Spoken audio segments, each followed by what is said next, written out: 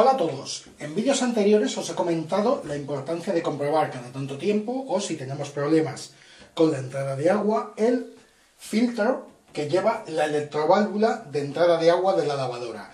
Lleva una especie de tapón, de pequeño tamiz, que el mismo, si tenemos problemas de cal, de sarro, como se dice en algunos países, y demás, de suciedad en el agua de entrada, llega a eh, obturarse, llega a taponarse e impide la entrada de agua de la lavadora. Vamos a ver un método que puede ser bastante sencillo, que creo, creo que os puede ser de bastante ayuda, que tal como en este caso tenemos la lavadora encastrada, colocada en un hueco, donde nos es complicado sacarla, ¿cómo podemos hacer esta comprobación de forma sencilla?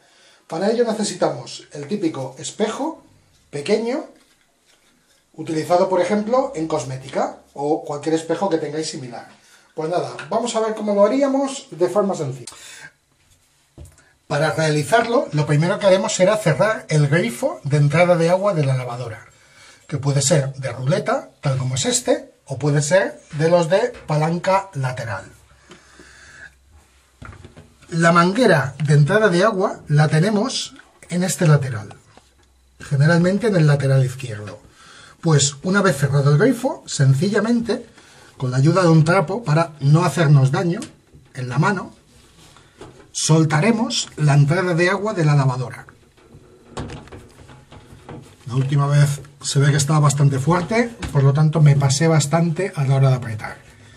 Y según vamos soltando, para que no nos pierda agua, para que no nos caiga al suelo el agua, pues nos ayudamos con el trapo y recogeremos dicha agua. Una serie de gotas que pueden caer, como ha pasado ahora. Ya lo tenemos. Sacamos la manguera para que no estorbe, la movemos. Y ahora, pues es tan sencillo como utilizar el espejo que habíamos hablado.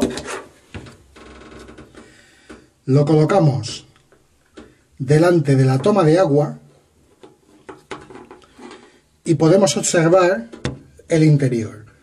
Observamos el tamiz, como estaría, si lo vemos excesivamente sucio pues obligatoriamente vamos a tener que desmontar. En este caso está, bastante limpio, tal como veis.